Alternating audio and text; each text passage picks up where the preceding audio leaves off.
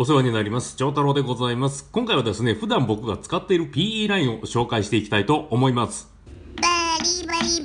バリバリさて、今回ご紹介していくラインなんですけども、ユニツカのナイトゲームザ・スーパー P というラインになりますね。まあ、いわゆる PE ラインでございます。まあ、今までもね、いろんな PE ライン使ってきたんですけども、この PE ラインを、まあ、お店の方でね、釣り具屋さんで発見して、まあ、一度使ってみて、それからはね、もうずっとこのラインばっかりを使うようになってしまいました。まあ、その理由をいくつかご紹介できたらなと、そんな風に思っております。まずこちらのラインなんですけども、普段は僕はもうこの0.2号、この0.2号をアジングメバリングに使っております。こちら0.2号なんですけども、強度の方ですね、強度の方こちらに書いてありますけど、0.2号ですね、0.2号4.8ポンドで、まあ、かっこ2.2キロ、まあ、強度がありますよということなんでね、まあ、強度的には全然問題ないな、強いラインですよね。これだけ強度があれば、少々のまあ生後とか、まあ、あとサバとかね、そういった魚に負けることなく、まあ、釣りができるであろうということでね、まあ、こちら使っておりますけどね。まあ、そして、その、使い心地ですよね。使い心地で気に入ったところはね、まずやっぱりね、うん、あの、他の PE ラインに比べて、なぜかわかんないんですけど、糸なりがしないんですね。まあ、糸なり、あの糸がこう、この糸がね、このロッドのこのガイドの中を通っていくときにシャリシャリシャリっていう音を立てながら、まあ、普段出ていくんですけどもこの PE ラインはねその糸なりがねほとんどならないというかねなんかこう素直にこう引っかかりなくガイドの中を通っているそんな気がしましてねこれはひょっとして糸抜けがすごくいいラインなんではないかなと、まあ、そんな風に思っております。糸なりがないということは多分摩擦抵抗が低いのでよりその飛距離ですよね、キャスト時の飛距離が伸びるんじゃないのかなと、まあ、勝手にそんな風に思って、こちらのライン使っております。次にこちらの PE ラインなんですけども、PE ラインってあの、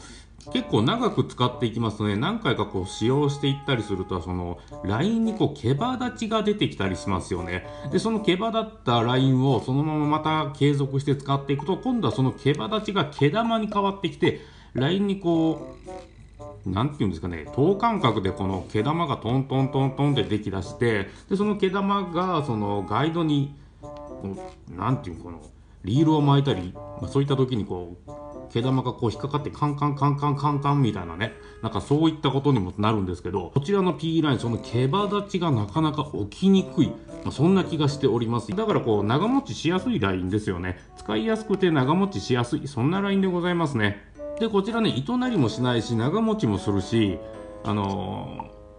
褒めるところばっかりなのかっていうとそうでもないような気はします。あのー唯一ねこのラインの欠点じゃないのかななんていうふうに思ってるんですけどあの結びコブですよね。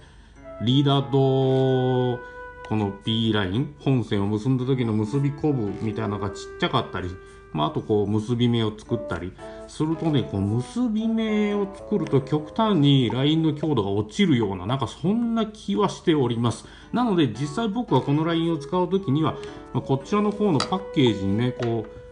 紹介されておりますけどもトリプルエイトノットですよね。この輪っかを作って3回ひねってラインを通してこう結ぶだけみたいな。このトリプルエイトノットですけどもはね基本的にこのラインを使う時はね使用しないようにしております。ジグヘッドだけだったらね十分このラインこの結び方でねあのー強度が出てるんで。ジグヘッドぐらいだったら切れることはまずないとは思うんですけどあのキャロ使ったりねあとフロート使ったりしますとやっぱりこの結び方をしますとこのラインはそこの結び目からリーダーのね、その元の結び目から切れるような、なんかそんな気がしておるんですよね。で、まあちょっとこのライン結び目に弱いかもしれないなということで、僕の場合は基本的に FG ノットを組むようにしております。リーダーとのこの接点ですよね。ここの部分を FG ノットで約まあ大体1センチから1.5センチくらい網目をこう作ることによって、